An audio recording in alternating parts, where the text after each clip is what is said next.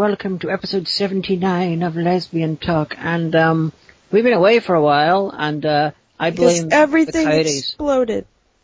And coyotes happened. There were no coyotes whatsoever. I don't know. There's no, there's no like southwestern stuff here. There's no snakes. There's no cactuses. There are no The coyotes. Southwestern sauce and dairy. South, is, southwestern sauce is a big fat lie. it's Thousand Island. It's Thousand Island dressing. She came back from the okay. Here's the background. She came back from the chippy with with with lunch for, us, and she's like, "Look, they gave me this new sauce to try. It's called Southwestern sauce." And I tasted it. It's Thousand Island dressing, y'all. That's very new and interesting for Northern Ireland. They have this abomination called taco sauce, but they pronounce it taco sauce, and it's really grates on me. But it's like this unholy matrimony of mayonnaise and ketchup and God only knows what else, and it's disgusting. but we have a guest with us, taco sauce aside. Yes. Creeper Wolf, introduce yourself. Be nice, or else I'll go over Milan your asses. yeah, how are you two doing? We're doing fine. Omega has been, uh, killing things in the Age of Dragons, and I have been cutting things in the Age of Footage to Cut Up. Pretty much. So, cutting on both sides then, that's good. Yeah, but not in like, you know, the bad way. In, Uh, like the- the yeah, okay. heroic and also blip way. I don't know, the movie I'm, I'm sort of cutting voiceover for, there's some cue jumping in it, you know, cutting in line, and, uh, the greatest extra in the film is annoyed at this. You'll understand it when you see my Christmas special. Oh yeah, that was yeah. Because I've seen the movie that she's doing, and let me just tell you what. I mean, I'm telling you what. And given how long it's going to take us to get this on Tigwatig because of the massive clusterfuck of getting people on, on Tigwatig, uh, it might be a while, maybe. Well, people will listen for my lips, so you know, they they, they know what's up. They know the thing. That's good. But yes, uh, Wolf Creep is here as, Creeper Wolf. Creeper Wolf sounds cooler. I, uh, I, I think for the sake of coherency, we should probably just drop that. It's Mahan, just for the record, just so when people try and look up stuff about me later, they don't go, wait, who the hell's this wolf, creeper, creeper wolf guy? It was I- you, Mahan, the whole time. I just, just I like just the master. wanted to reference Wolf Creek. Oh. Yeah, I, I appreciate it, but just, you know, I confuse people enough already. We don't need your help. Fair enough. Yeah, honey, you, like you are kind of like you know how when you're trying to do something complicated and the cat's like, "I'll help." That's kind of what it's like. you give you bring the help of cats. But Mahan is uh, is a supporter on Patreon and uh, had the choice between either getting a cameo or appearing on Lesbian Talk. And I'm really, really delighted that you chose this one because it's less work for me. It's being tough. Yay! Yes. Uh, well, yeah, I, w- I, I- I went with this on the um, request of a good mate of mine, Lucas, and good God am I glad that I followed his suggestion, because I'm pretty sure I'd, I'm liking this a hell of a lot better, to be honest. Yeah, filming is really hard. I moved over here and found that out. Yeah, you're all like, it'll be easy and fun. It'll just be like rainbows and fluffy things, and suddenly it's over. It's like every two weeks. It takes hours. Oh no. Ah. It does. I'm kind of like I'll have to cram in my brother-in-law's bedroom and set everything up, and then it's done. I'm like, oh, I want takeaway. That was long, also hard. And, I, and I'm the one who has to do most of the work. Oh yeah, that's true. we just of kind of have to be there. Oh no, that was that time we had to film the thing, and I I wore shoulder armor, which looked really awesome, but in retrospect was a really bad idea. 'cause Oh, the really my intro to- back. The intro to Bitch Slap, which Yeah. took about took a long time. Yeah, it took like all day, didn't it? Not quite all day, but it was a decent amount of time. It was, it was more complicated and longer than filming like an episode of Hagan just for the intro at the start. And the intro, I cut a page out while we were filming, and then the, another page was cut out in editing. So Yeah, and then I busted out my vocal cords for you because you were like, "Scream, no, scream louder." I can't scream anymore.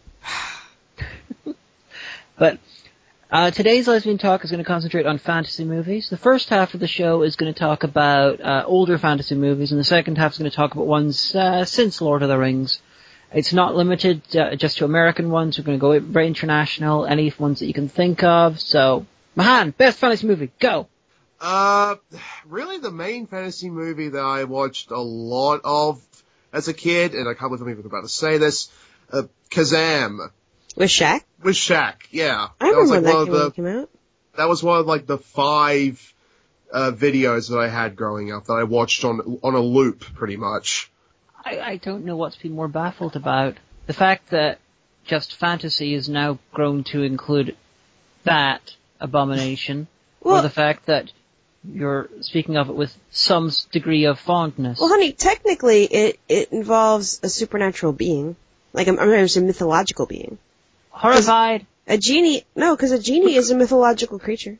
Fair enough. I thought maybe I could go the easy route and maybe go with hmm, Nightmare on Elm Street or something like that, but I'm like, nah, I That's want to bring out horror the real stuff. That's It's still fantasy though. we we obviously didn't work out the parameters properly before the episode began. See, it's nice to see the tables turned on you because you're always doing shit like this and being like, oh, things and stuff. And I'm like, well, and you're like, no, because, and I'm like, but we have to examine the parameters. You're like, no, but I win because things and stuff. So it's, it's good to see the tables turned on you. My brilliant revenge has come to fruition even though I had nothing to do with it. And isn't this show riddled with tangents anyway from episode to episode? Yeah. Yeah, it's like Yeah. basically like how we, we do things here. Well, I'm going a little bit more traditional with my choice of best fantasy movie, and I'm going well for drumroll, please, Omega. Okay. The Never-Ending Story. I did love that. Now, why didn't I say that? These I- I- hands, these hands are so big. Oh, you should have seen it. Whenever I saw um, Noah and you saw the giant rock monsters, I made uh, Robin burst out laughing by leaning over and you know doing the the impersonating the rock biter from Neverending Story, and the laughter was not well regarded by other people in the cinema. Yeah, well, I I did I did love that movie, but like I, I I saw it when I was really young, and I was kind of like traumatized by the idea that the it your mom could die. So I was like, that, that, that can't happen. Moms don't die except for in Disney, but then it like happened long ago and off screen, except for Bambi. But we're not going to talk about that.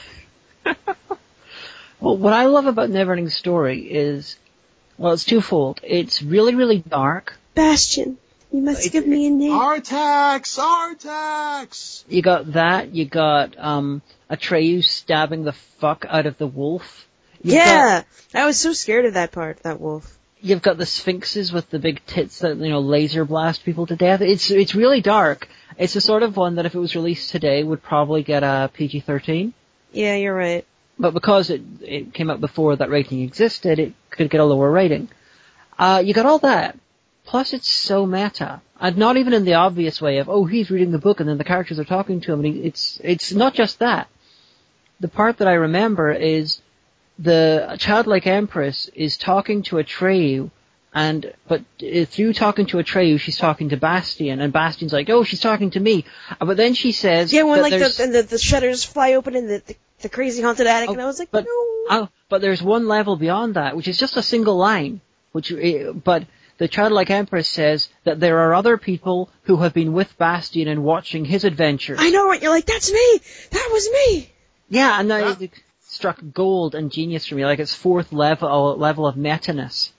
I think I've I've heard that it was based on a book, but I've never read the book. I want Uh, to. it is, yes. And um, through the book, you can find out what the name of the of the childlike empress he yells at the end is, because he does yell it. I always thought he gave the childlike empress his mother's name. Uh, and yes, she did. Sorry, he did, and uh, but they didn't mention the mother's name in any other part of the film. Oh, that's a good point. And if I remember correctly, it's uh, Starchild. Why was his mom called Starchild? I think it was Starchild. I- It was Star something. Moonchild. Moonchild, that was it. Why was his mom called Moonchild? I don't know, because she was a. For the her- longest time, for the longest time, I just kept on assuming um her, his mother's name was. I I thought he shouted I out didn't mom. Find out, That's what I I, didn't find out until like I looked it up on Wikipedia, like what 10, 15 years after the fact. I'm like, oh, that's what it was. Yeah, I still don't hear it. Yeah, I thought he shouted at mom. That's what I thought he shouted. Well, anyway. Now you know better. I I don't remember liking the sequels. I know I saw the second and third, but I remember the only thing I remember at any of the sequels is the one kid was played by what's his face. Uh, Jack And- Black. No, the other kid. Oh, uh, the guy from SeaQuest. Yeah, yeah. Who was played by- Jonathan, blah blah blah blah, who uh, later committed suicide. Yeah. And I just remember there was a part where they're in a boat getting to a city, but the water around it is made of acid, Well, that was called Dante's Peak. That was the really unknown uh, no, Never not Story that. sequel. Not that. You know what I'm talking about. Oh, and also there was a thing that like, you know, he could sacrifice his memories for something, but I forget what I, it wasn't as good. Yeah, it was crappy. The uh, the first uh, film was apparently the first half of the book, uh, but never read the book. See, I kind of want to. And that's one of those ones that I always meant to get to, and then I never did. If you've read it, write the show. I will buy you a copy. Oh, that's nice. Ooh, I don't have to do it myself. Does that mean it's my turn now? Yeah. I think that unequivocally I have to say the Dark Crystal. Dark Crystal is good. Gelfling! Gelfling! What did you think of the the differences between the usual version and the director's cut that was edited together that we watched? It was very interesting because I remember, I think we, we had a whole episode on this, didn't we? Uh, yeah, one of the early episodes. way back in the day. And it's kind of interesting because you could see a lot of the different stuff that they were originally going for, but in the end I still do like I still do like the finished product. And uh, in case you audience uh, don't know this or missed that episode or whatever, basically the original version of the Neverending Story was a lot less mass markety. Uh, the characters, for the most part, did not speak English. Uh, the char- only the Gelflings spoke English. Ev- everyone else spoke their own languages unless they were talking to the Gelflings and the Gelflings could understand them. Uh, you had whole sections that were removed and move, moved around. Uh, voices, characters were revoiced, and years later, someone took all of the footage they could find from different parts of it and edited it together into a coherent original cut of the Dark Crystal, and it's fascinating. And it's on YouTube, so totally totally look that up. I mean I'm pretty sure it still is. Yeah. I don't Yay, think fan edits. I know, right? This is the kind of world we live in now that you can do shit like that. I've just ordered you a copy of the Neverending Story on book. Did you seriously do that? Yeah. Live on air? Yeah. Oh, I love you. Aw. Thank you. God, I feel like such an idiot.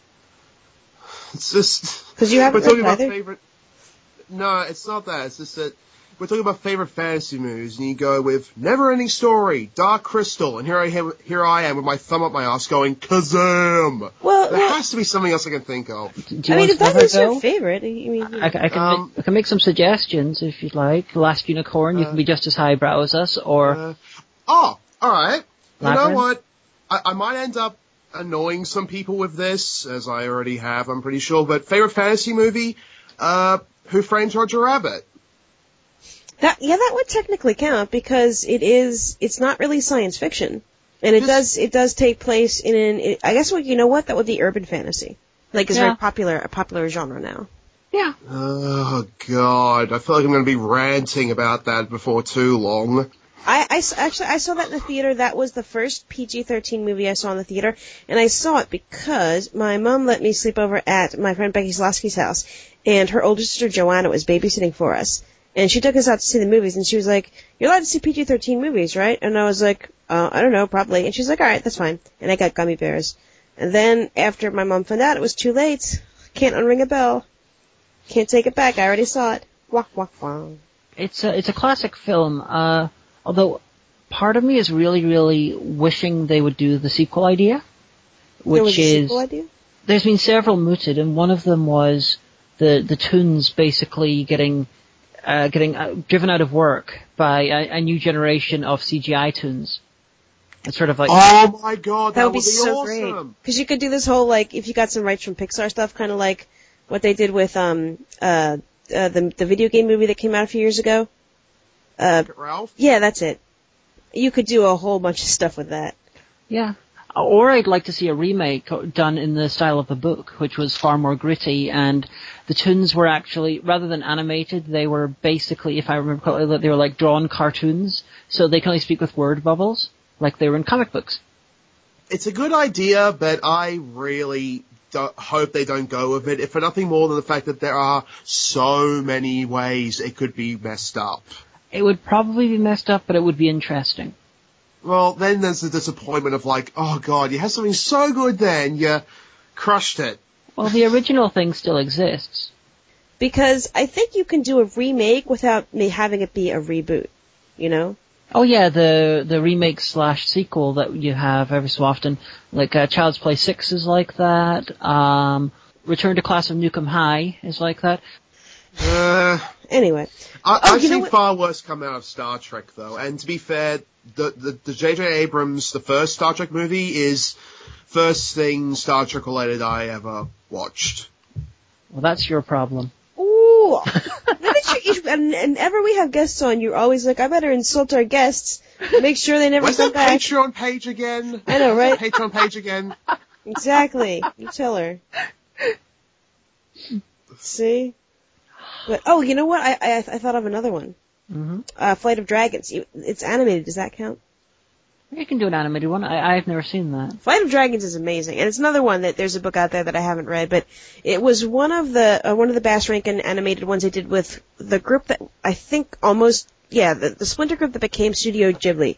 Um, they work with Bass Rankin, and they were responsible for The Hobbit and for Return of the King and you know all of that kind of stuff. So it's in very much in the style of that, and it's got what's his face as the voice of the wizard, and I love him because I loved him in Mash.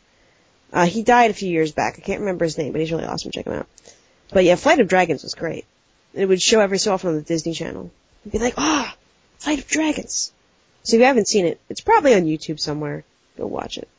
Flight of Dragons. No, because it's really cool, and it actually like scientifically explains how. Because the one the main character, I, it's been so long since I've seen it, but the main character was a school teacher who, because of some dimensional portal, got sucked into this magical realm, and he's a man of science, and he.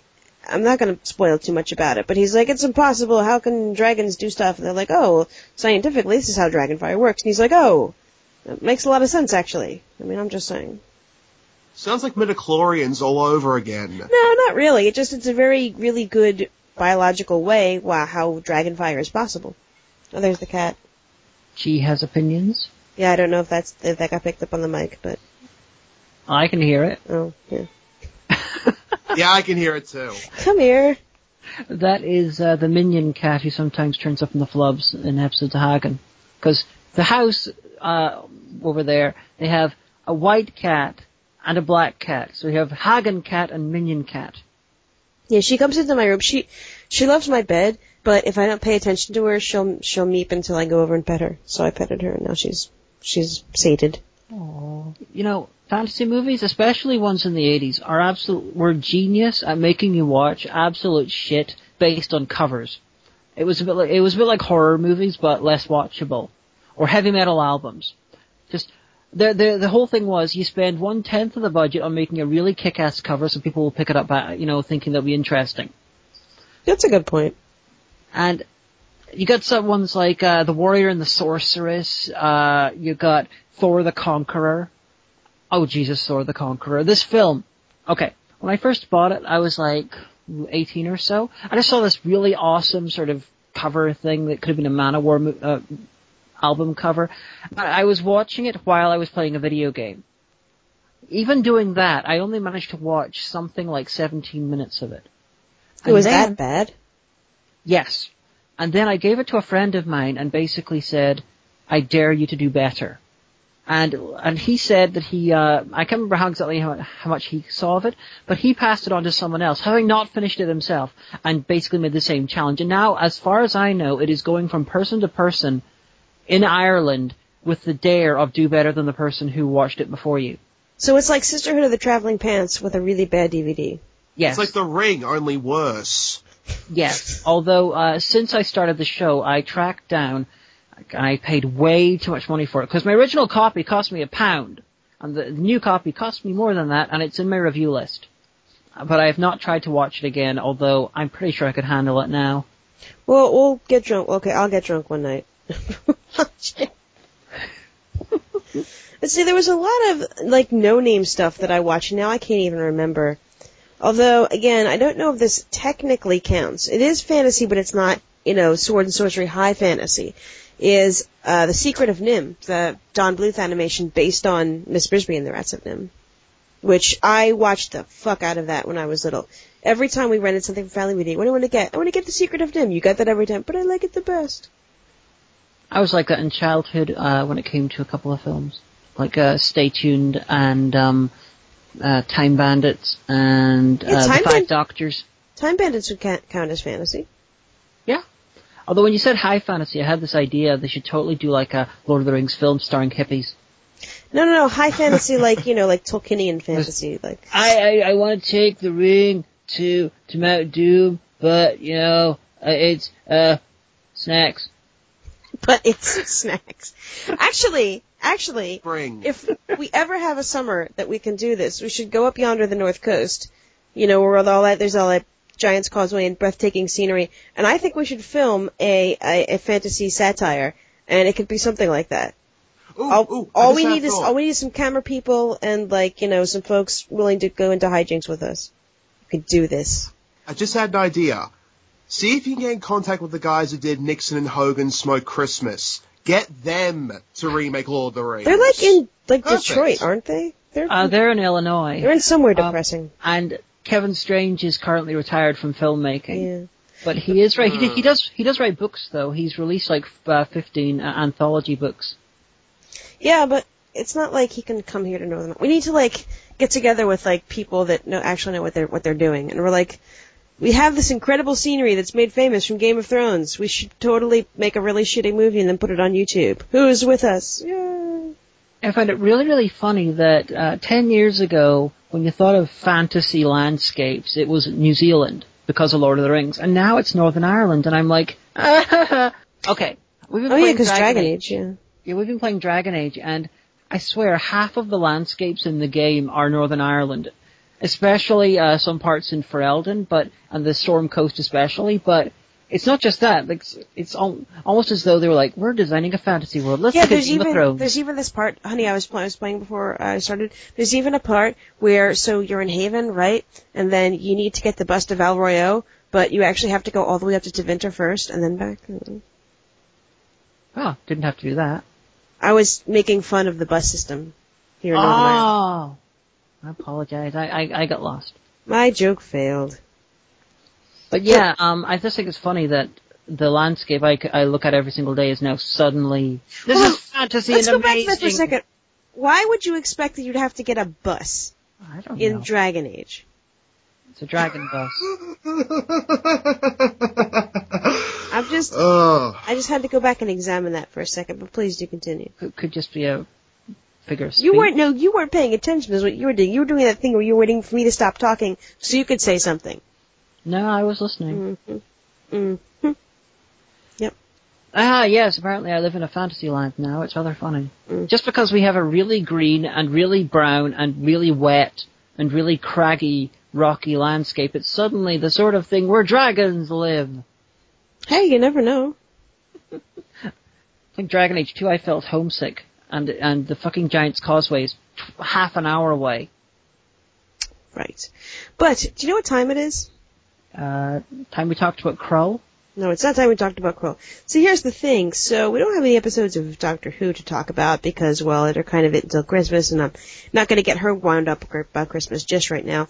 So we're going to bring our little lobster friend here in the middle because we're also conducting a very important experiment, which I'll tell you about next episode if it ends up panning out. It is now time for that part of the show that we could get rid of even though we tried. It's time for Giovanni's trivia question. And Giovanni, are you with us today? Yeah, boss, here I am. Uh, so I want to extend a warm welcome to Mahan the Creeper Wolf, or Wolf Creeper, or Cre- Wolf Creek. But anyway, so I, I hear you're from down under, and that's cool because I have some lobster friends down there. You see the water's real nice and stuff, so uh, welcome, welcome to, to our to our humble podcast. Oh, thank you. And good thing you came here. I was just getting the uh, pot of boiling water ready. That's never been funny. That's, it's The not lobster funny. on the Barbie. It's not funny when she does it. It's not funny when you do it. It's not funny when people do it on Twitter. It's not funny. Because if you notice, I'm already red. Capiche? Okay, so anyway, Just like We- a say, carapace. Yeah, that, that actually is pretty funny. I think I might do that in, in, a, a uh, uh, next time. But so our last trivia question was discussing the infamous Max Headroom incident when the Max Headroom lookalike or imposter pirated the signal and interrupted television programs. Two television programs. This is in 1987. And what two television programs were they? Well, our good friend Dirk Cork, the German who knows everything, knew that it was in fact the 9 o'clock news, and later on a different channel, it was Doctor Who. And uh, Hagan, which episode of Doctor Who was it? I don't know the exact episode, but it was Fang Rock, the four-parter. That's close enough. But I do want to say honorable mention that is Danny Amigarami on Twitter who got it a few minutes after Dirk Cork. So Ah, Aragarami, it means difficult to pronounce. it does. But you get an honorable mention just for being like right next to Dirk Cork. But so anyway, today's trivia question is now uh, Michael Jackson, God rest his soul and all that stuff, did write a book. Okay, kind of wrote a book back in the day. And it was edited by someone you would never expect to have edited a book. Who was it? Who edited Michael Jackson's book? I think it was biography, was it not? Autobiography, 1988, called Moonwalk. Who was it? You're never going to guess if you don't already know. But or if you don't check. and don't Google, that's cheating. So the way this works is, as soon as, as this goes on blip, tweet at the Omega Geek. That is at the Omega Geek on Twitter. If you are first, you'll be my favorite mammal for this week. So anyway, that's been me. Goodbye, my adoring radio public. I'm pretty sure uh, Neil Gaiman, early in his career, he he wrote a book either with or for or about uh, like Duran Duran or something. Really? I think so, yeah. That's kind of interesting. But uh, second half of the show, we're going to talk about uh, more about the more modern ones. But because there's lots we didn't talk about in the first one, Here's what we're gonna do, and here's what we're gonna do, and here's us totally not doing it. Yeah. Well, we're going to talk mostly about the newer ones, but we can talk about old ones if you want, because Ladyhawke, Labyrinth, you know, there's I didn't like Labyrinth as much as Dark Crystal. Mostly because I wanted to slap that girl. I mean, seriously. Aw. I didn't like her. She was a whiny bitch. Me, me, me, me, me, me, me. And I'm supposed to empathize with her? It's her own fault her brother got taken. And she needs to Wait, get her head- Beaker was in that movie? Who? Beaker from the Muppets. Yes. Yes, yes, he was. It's Jim Henson production. He was, uh, he was an extra. But yeah, oh, she was, okay, nice save there. she was such a bitch. Like, I was like, shut up, no one cares about your life. Jesus Christ, get over it. You know, and it's just, I don't know. Although I do like that, I, I saw a fan interpretation, I think a year ago, online, that, that someone sat down and examined this and, and said, you know, made, created this whole fan canon where he, the Goblin King had a girl named Sarah eons, eons ago. And he keeps, he keeps kidnapping Sarahs. Yeah, and the and their little brothers, and uh, whenever a Sarah doesn't manage to rescue little brother, they become a goblin. Mhm. It's a really good fanon. Although I gotta say, I love David Bowie and everything he does. I just want to get on the record and say that I prefer Labyrinth over Dark Crystal. So any marauding bands of Labyrinth fans, you know, aim at Omega, not me. What? No, how could you even deal with her? She's like, what's her face from Twilight, but like a few decades early. Oh, oh, no, no, no, no, no, no, no. That's unfair. Cr- yeah, I, that is seriously unfair. No, because Jennifer Connelly can carry a bit of drama. Well, very ac- least. actress aside, actress aside, because I'm not like comparing this girl to Kristen Stewart, but the character is just so one-sided. Like, you know, first she's like, oh, things and stuff, and I'm so selfish. hate me." you bad. Uh, but then, and then she's like, oh shit, really fucked this up, didn't I? Oh, now my driving goal is to find my brother, which is admirable, I guess, but still, it was your own fault, babe. Just saying. If you think, if you think I'm cruel, write the show. Are you going to insult Krull as well? No. You can almost hear the fan hate coming in. People can, I, I, I'm entitled, it's a free country, I'm entitled to my opinion. I'm not Hey, saying, hey, go I'm not saying, ahead. I'm not saying that it's a bad movie. I'm saying I didn't like this character. I really like the special effects. Everything Jim Henson touches is gold. It turns to gold. I mean, I I love what his his, his creature shop did, and I love David Bowie. But uh, you know, I mean, that's like I'll never watch it. I'm just saying that I like Dark Crystal better, and I don't like that girl. The lady Amen. doth protest too much. I can protest as much as I want. It's my show. I like them apples. but alright, you can talk about Cole now. Krull is brilliantly terrible. And features a very young Liam Neeson and Robbie Coltrane. Now that I didn't know. Mm-hmm. They're playing like warriors. Yo, you know what I haven't thought about in a dog's age? Willow. Willow's great with the Eborsisk and uh, Val Kilmer. I actually need to uh, ask Creature to do some Photoshop with me uh, involving the Daikini from that. Although the line that I'll never forget, only because the, the little kid who was with me um, in daycare, we we watched this in daycare, and, and because it was one of those rainy days, and the woman who I probably shouldn't be saying this, but the woman who ran the daycare checked her numbers on state inspection day, so she had way more kids than she should have. She was crooked. But so she's like, all right, we're going, we're going to the movies. Everybody, we're going to the movie. Went to see Willow. and there's this one line that one of the, the, the little pixie guys has. I remember you. We still baby while you taking a pee pee. And this child repeated that line for the next three months.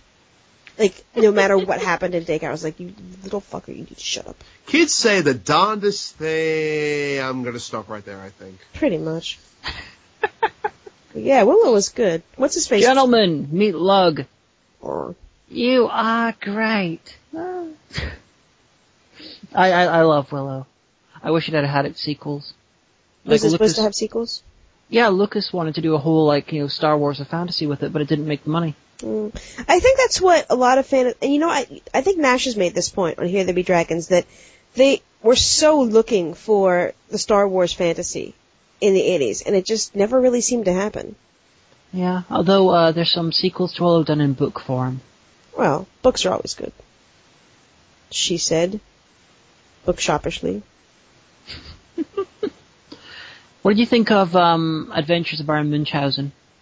You know, I have never seen the live action one. I saw an animated one years and years and years and years ago, but I've Okay, never well- actually seen the live action one. I'm going to show you it at some point. I know that like some of the Monty Python guys are in it. Um, Eric Idle and but Terry Gilliam uh, sort of directed it. But I had this wonderful. Okay, you know in uh, Two Towers when you got Saruman yelling at his like army of orcs, and then you the camera pans back past all of these thousands of CGI orcs, and it's really impressive. Mhm. Well, there's a shot like that in Baron Munchausen. And, but it's all done practical with full, sta- with full size, uh, models, uh, like, one to one size of models with like siege towers and cannons and army guys, all like about a mile and a half, just pans back. And you can see why Baron Munchausen was one of the most colossal financial failures of all time. It was the most expensive film ever made. It bankrupted, I think, one and a half Even like by, by our standards now. uh, for if you put adjustment for um, inflation in, probably Okay. It uh, it bankrupted at least one studio. It was worked across the it like used almost all of the film people filmmaking apparatus in like two continents, possibly three. I can't remember the exact details. This was a massive production. Wow. And I and I really wish Gilliam had been in charge of Lord of the Rings. Simply because I knew he would have gone to the effort of genetically engineering his own master race of orcs just for that shot. But then if that happened, Lord of the Rings, no matter how many people went to go see it, would still go over budget, which is a really bad trend when it comes to Gilliam films. Yeah, but Gilliam's amazing. That's why it's like, I don't care. Gilliam, you don't need to make money. You're just awesome. Very admirable, I'll give him that. Yep. And he's still trying to make uh, The Man Who Killed Don Quixote. I've Uh, not heard anything about this. Okay, 1999, he raised a bunch of money in Europe. This was like one of the largest uh, productions in various European countries. He raised all this money, got Johnny Depp over. He cast this aged and venerable Spanish actor to play Don Quixote. Johnny Depp was playing Sancho Panza, this modern day guy who was sent back in time and, and he was, he assumed the role of Sancho Panza. And he, he filmed several days, rather, he, he worked on this for years to try and get it made and then he, after he filmed, okay, First day of filming, they discovered that the place they were filming was right underneath a Spanish military base. Or like an aircraft base, so there were planes constantly going over. So some shots were unusable. They, they would have had to redub everything. It's like, that's annoying, bad, annoying. But then, the whole, all the sets were like, you know, destroyed in flash floods. And Jesus. then the lead actor, uh, came down with severe, uh, um, medical issues that later killed him. And the film collapsed. And the, the rights to the film, to the idea, of the unique idea of how, to handle Don Quixote in this way, it was tied up in rights issues and uh, insurance issues and stuff for 10 years. And it's only now that Gilliam's getting back to attempting to remount it. But now apparently it's all set in the modern day because he had to cut his budget and everything. Oh. They, they made a, fan- the, these guys made a fantastic documentary about it because these guys were there to make a documentary about the making of the film for the DVD. And instead they made a documentary about how a film collapses and it's called uh, Lost in La Mancha. Oh. Oh, but you know what? You know what I was thinking of while you were saying that? Legend. Oh, Did oh, you yeah. know? I didn't see Legend until I was in my 20s. And I will tell you the story. This we were having a girls' night at um, this friend of mine's house. So it was a whole bunch of us, and we'd already been drinking like most of the night. And my friend, a friend of mine brought up Legend. I was like, "What? I've never seen that movie." She's like, "What? It's travesty. I have it on DVD. Let's watch it now." So uh, my one friend, the bartender, was making us all drinks, And so she made us all really huge white Russians, like huge white Russians in a Pilsner glass. Like in a pint glass, that's how big it was. And so I didn't want to sit on the couch drinking like this drink that might, you know, I might spill. And I'm always thirsty because I'm always talking. So I didn't really understand the power of alcohol back then. I do now. And so I drank it really quick so, you know, I could watch the movie.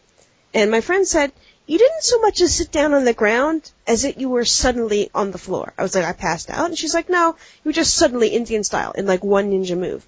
The only thing I remember about, I was so drunk, the only thing I remember about that movie was there that little kid who says, I am Gump of the woods. And apparently it's like, you, you gosh, you guys, it's Forrest Gump. Get it? Get it? It's, it's for Forrest. It's for Forrest Gump. Get it? Like for 20 minutes. And that's how I was. Ah. I was drunk. I was so. I, that was one of the few times in my life I've been hungover, and I blame I blame Tim Curry's horns. Amen. Tim Curry was amazing. I would love to see a film version of uh, of Gargoyles with the characters created using the Tim Curry type makeup. Uh, it, they'd have to work really hard on it, or it look would look cheesy. It's gonna But- be cheesy regardless, though. Yeah, I don't know. I just it would have to look really, really good to not look bad. Is what I'm saying. Well, Like yeah. you know how the original Ninja Turtles movie it looked really good, Mhm. and then you know this recent one they tried really hard and paid a lot of money for it to look kind of bad. Just saying. Well, that's because they're CGI ones. So, if you're going to make a comparison, bet- you know, when talking about practical special effects, because I'm not talking about CGI in the gargoyles, I'm saying it should be practical, like in Legend. Yeah, but still, I have the feeling that you know I don't know it might turn out bad. Just saying. But Mahan, do you have any other noteworthy fantasy films you want to talk about? Uh, I do have one in mind, but I kind of get the people that I'm, kind of get the feeling that I will piss some people off by even considering it a fantasy movie. Again? No, I mean seriously this time. But you know what? Screw it. Favorite musical? Fantasy? South Park. Huh. Now I do have to go with you. That is one of my favorite musicals ever. Just, yeah, it's all well, it it of does awesome. it does have an epic battle between good and evil. I, I yeah I, I can see it. All right, I'll I'll go with you on that one. Oh my god, we we had to go see it and we had no idea it was a musical. We thought it'd just be a really long episode, and we were so blown away. We came back the next night and saw it again. I had I bought this I bought the soundtrack the next day. I was like, this is so magical, and I told my parents because my parents, you wouldn't think, but they really did end up enjoying like the first few few episodes of South Park, and I was like, Mom, you have to see this. It's hilarious. And they then I let them listen to the soundtrack, and they thought it was amazing. Aww.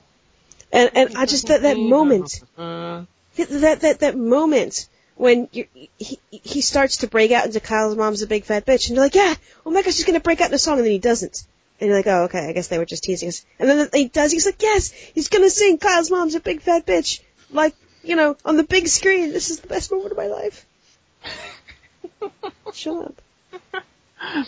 in all honesty, I'm more of a guy for modern cinema. It's like I, I've seen pretty much everything that's come out in the last couple of years, but you, you ask me like ten years back, I'm like, uh huh, what?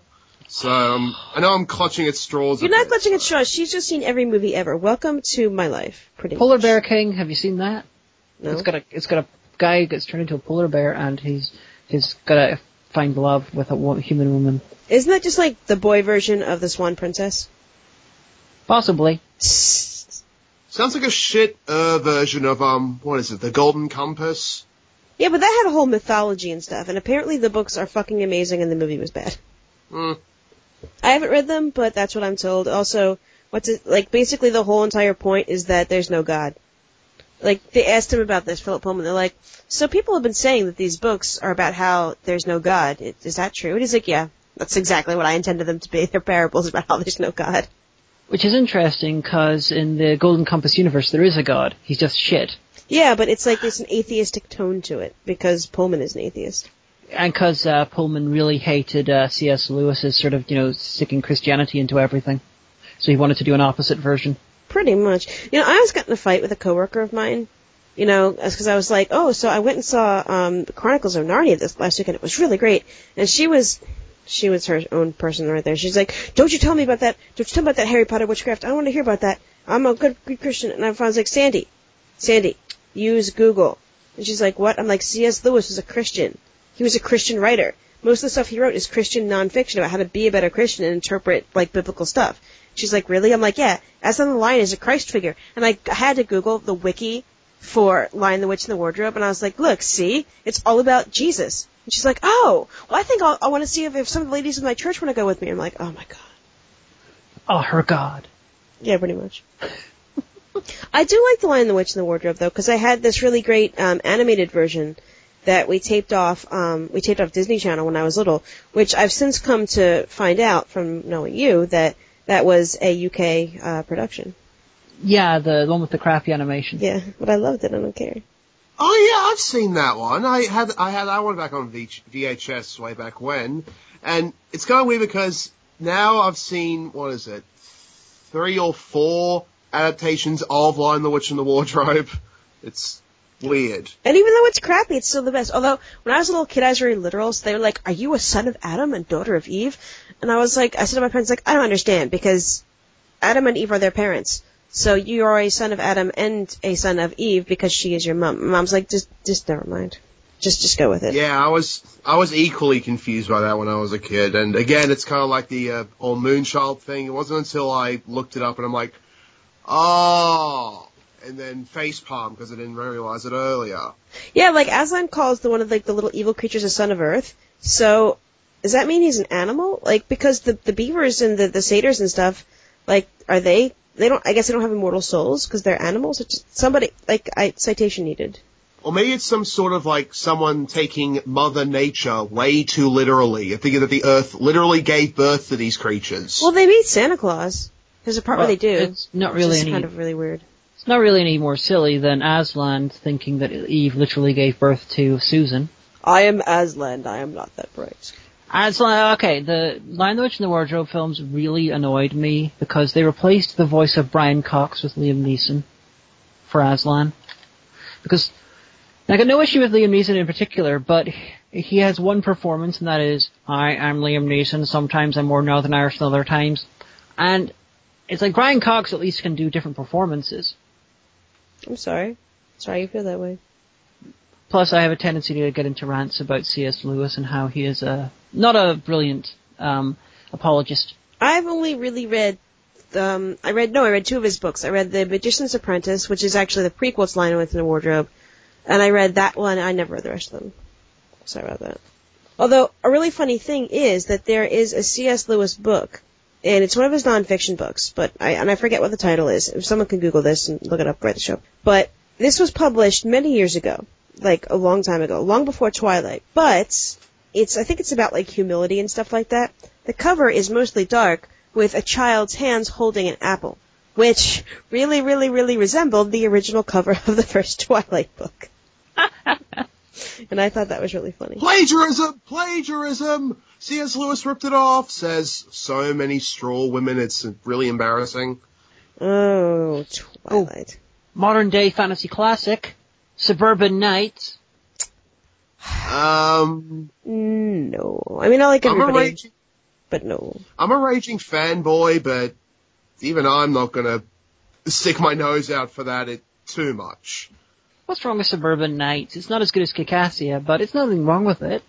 Uh, No, there's something wrong with it. It's just, it's, It's got the same Not- issues as Kickassia. I know that Doug writes everyone as Doug, but that's its main issue. Everything else is just like, nah. I wouldn't call like- it. I wouldn't call it a fantasy classic. Is all I'm saying. I mean, one good of job, those, everybody. watch it did once and leave alone for the rest of your life, and that's pretty much it. I'm gonna I, have to. I, s- I watched it that one time. Did you? Yes, because you were like, "Why haven't you watched this?" And I was like, "I don't know." She's like, "You know some of the people in it." I'm like, "Th- "But they won't take it personally. They're not gonna like quiz me." She's like, "We should watch it," and I was like, "Oh, fine." Oh, okay. Well, I'm stroking my copy of Oh, Suburban Knights I have on DVD. Stop stroking. No one. Okay, you need to know, honey, that I know that when you say stroke, you mean pet, like one would pet a cat. But in American English, that like stroking is like has a sexual connotation. So I just want to let you know about that. Stroking! Stop it. Oh, Suburban Knights, I'll protect you. But anyway, I have a copy.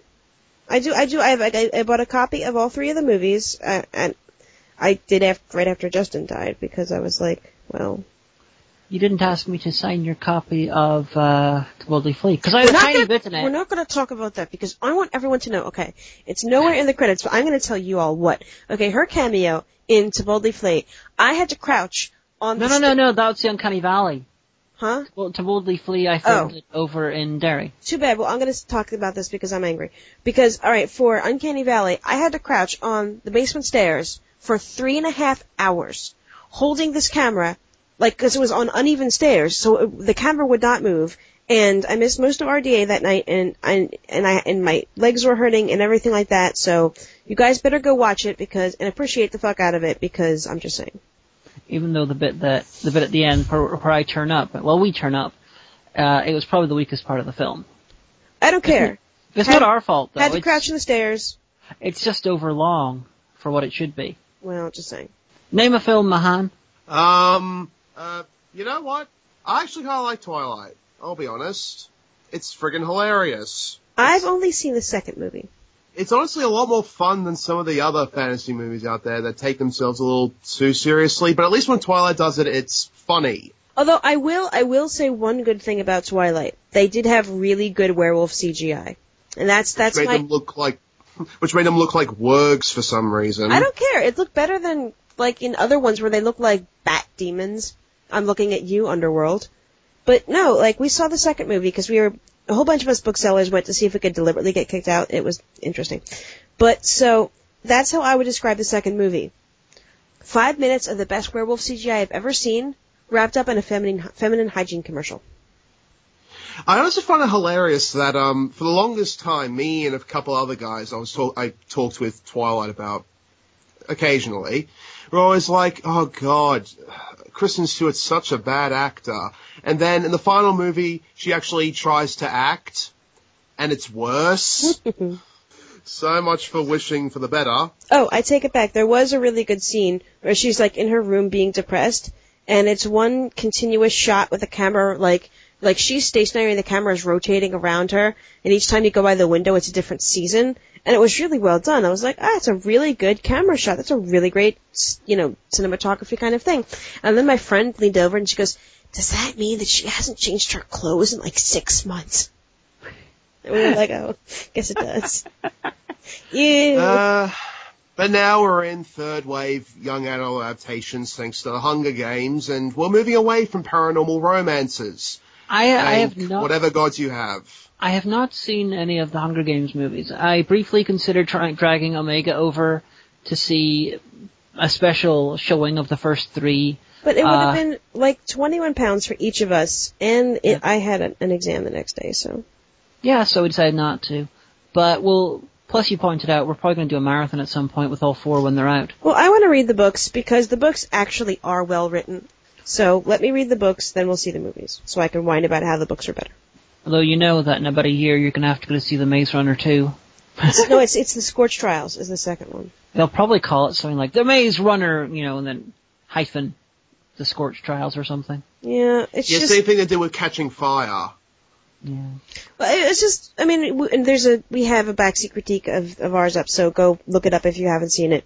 But it was a really good movie until the last five minutes. And you were like, oh, that's not a really good explanation for all of this. Yeah, Maze Runner is just like, there is no possible way that this can make any fucking sense. And it doesn't. But the effects were good.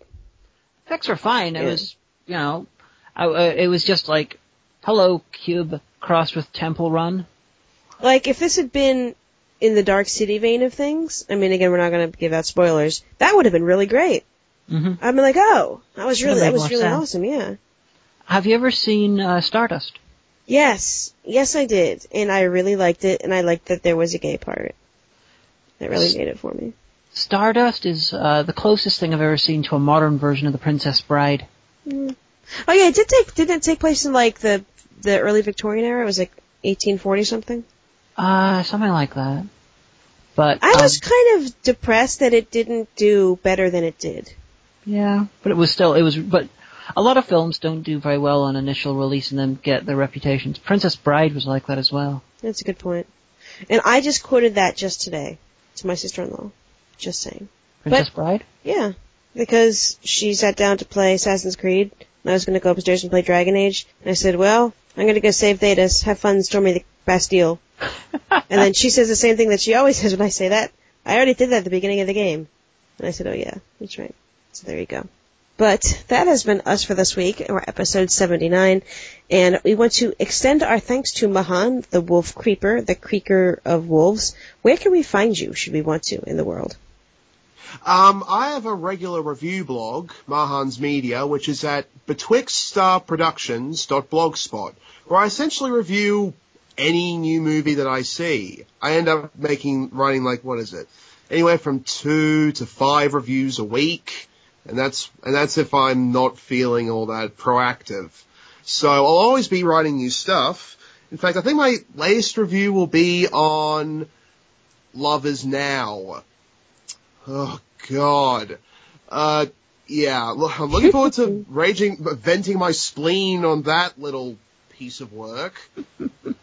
You do yourself a favor and watch both of the Lou Ferrigno Hercules movies from the 70s. No Ferrigno. Well, I think you would have a lot to say about them. Oh dear. But anyway, that has been us for this week. I hope the Omega and Honey, who do you have want to have been this week? Red Sonja. Very adequate choice.